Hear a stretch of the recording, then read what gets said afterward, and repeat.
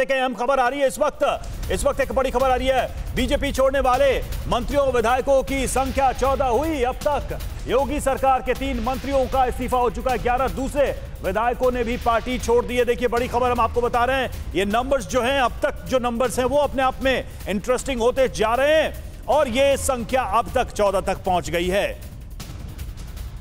तो अब तक की बड़ी खबर है, उत्तर प्रदेश बीजेपी से जुड़ी हुई अब तक अगर बात करें तो कुल 14 विधायक और तीन मंत्रियों ने पार्टी छोड़ी है।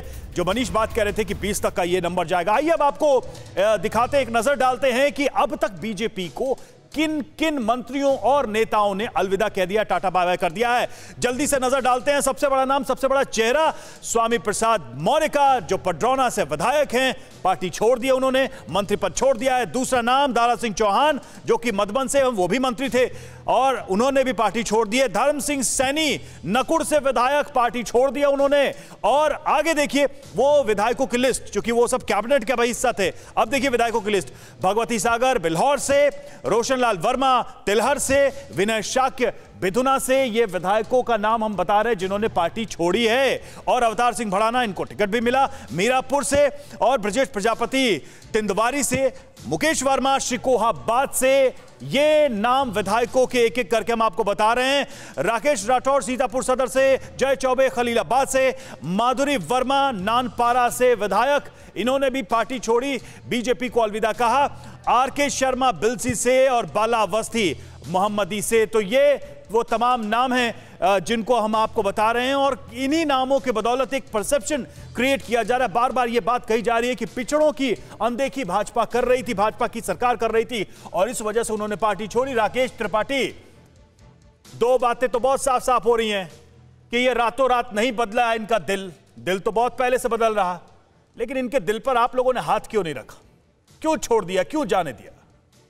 देखिए रवि जी भारतीय जनता पार्टी एक लोकतांत्रिक पार्टी है जहाँ पार्टी में निचले स्तर के कार्यकर्ताओं से जनता से फीडबैक लेकर के सर्वे करा करके पार्टी अंतिम स्तर पर ये पार्लियामेंट्री बोर्ड निर्णय करता है कि कौन से प्रत्याशी ऐसे हैं जो दोबारा चुनाव मैदान में जाएँगे।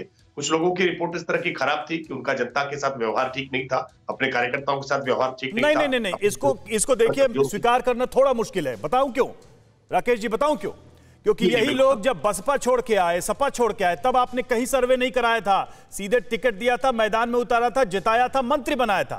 और आज आप ये लॉजिक दे रहे हैं। ये दोनों बातें कैसे हो सकती हैं एक साथ संभव? भाजपा की क्या नीति पाँच साल में बदली है टिकट देने की या पाँच साल पहले भी वही थी?